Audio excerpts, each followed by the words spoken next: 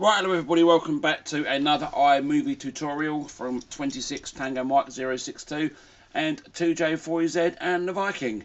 Right, now for today's tutorial, I'm going to show you how to add text over video or text over a background.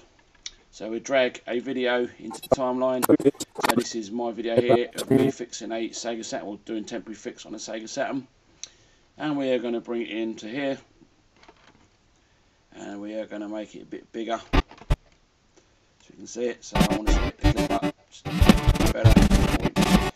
So I bring it down so you can see it better so it's that one. I split the clip up like we did before. And what I want to do now is add some titles going over there something like fixing a Sega Saturn something like that. So all I'm going to do is I'm going to push titles and I can select which title I want. So that can do like that one. So that one is called expand. You've got standard which is just over there. You've got exp uh, expand lower third. What's that one? Reveal. So I'm going to do select my title I want. So I'm going to do pop up. So that one. I'm literally just going to drag it on top of the video like that. And then where it's got title text here I'm going to type in my title text. So fixing a Sega Saturn. Okay, I'm just going to hit enter.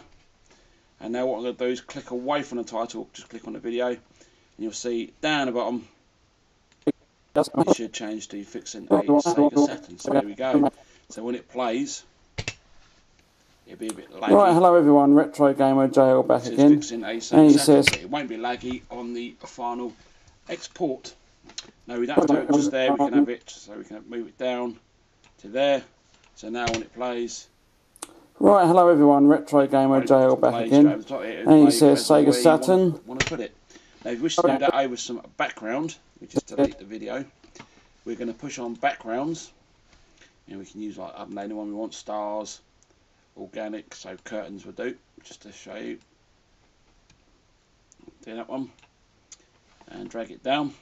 Now you'll see that the background is about four seconds long. We can make it a bit bigger by clicking on the end. Oh, wait, come on. Making it a bit bigger. There you go. So about six seconds, 5.6 seconds out of dope.